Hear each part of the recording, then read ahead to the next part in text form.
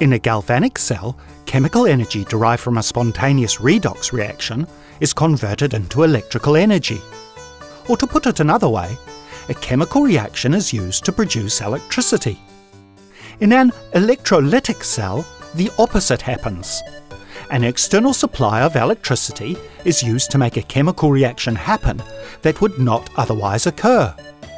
This process of electrolysis is widely used, for example, in electroplating and in the production of metals and other chemicals that would otherwise be difficult to obtain. In electroplating, a thin layer of one metal is applied to the surface of another base metal to improve its appearance or resistance to corrosion. For example, electrolysis can be used to coat an object such as an iron spoon with a thin layer of silver.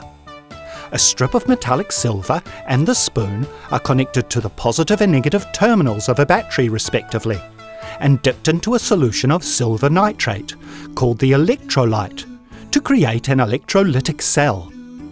The iron spoon acts as a negative electrode, providing a source of electrons supplied by the battery.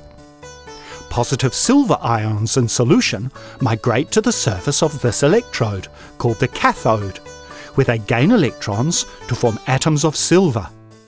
Meanwhile, at the silver electrode, called the anode, silver atoms give up electrons, entering solution as positive silver ions.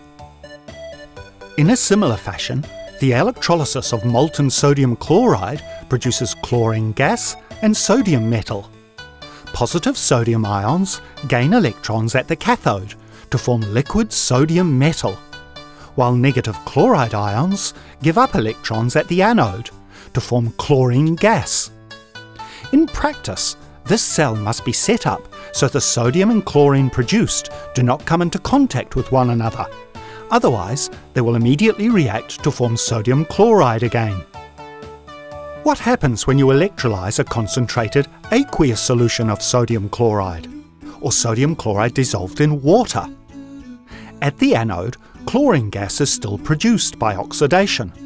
But at the cathode, water molecules rather than sodium ions gain electrons, being reduced to hydrogen gas and hydroxide ions. So electrolysis of aqueous sodium chloride produces chlorine gas, hydrogen gas, and sodium hydroxide. The electrochemical series can be useful in predicting what reactions will occur in an electrolytic cell.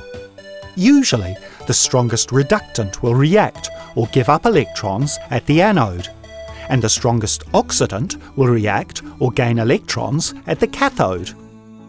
Water is a stronger oxidizing agent than sodium ions. Or to put it differently, when water molecules and sodium ions are competing for electrons, water molecules will gain them more easily, being reduced to hydrogen gas and hydroxide ions in the process.